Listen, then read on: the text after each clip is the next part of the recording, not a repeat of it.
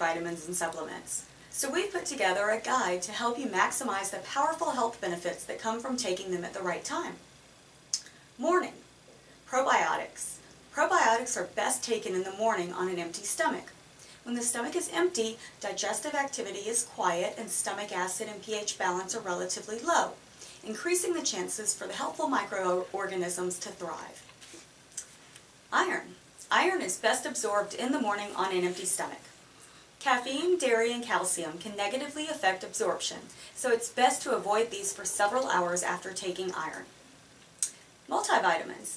Take multivitamins with your first meal in the morning. As multivitamins contain both water and fat-soluble vitamins, be sure to include some healthy fats with your meal for optimal absorption. B-complex vitamins. Taking B vitamins with breakfast helps to boost your metabolism and convert your food into energy, which can be used throughout the day. Vitamin C. Vitamin C is best taken in the morning to support the immune system and boost energy levels.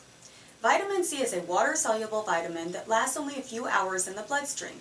So if your formula recommends more than one tablet per day, take it in divided doses with meals to get the full benefit. Noon. CoQ10.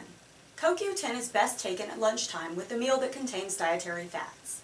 Avoid taking CoQ10 late in the day so it does not disturb your sleep. Vitamin D. Vitamin D is best taken with a meal that contains dietary fats. It's possible that vitamin D can negatively affect sleep, so lunchtime is a good time to get your vitamin D. Iodine. Iodine is not stored in the body, so regular intake is needed. Kelp tablets taken with lunch may boost midday energy levels. Vitamin K. Vitamin K is best absorbed along with the dietary fats and ideally should be taken during the middle of the day. Avoid taking vitamin K if you are taking Coumadin or any anticoagulant prescription drug as vitamin K can interfere with the effects of this medication. Night. Fish oil, important to support many aspects of health. Fish oil is best taken with a main meal such as breakfast, lunch, or dinner to aid absorption. Calcium. Calcium aids nerve transmission and muscle function. To get the full benefit, take calcium in the evening along with magnesium. Magnesium.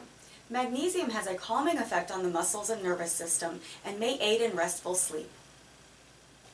Magnesium works synergistically with calcium, so take these together either as individual supplements or in a combined formula.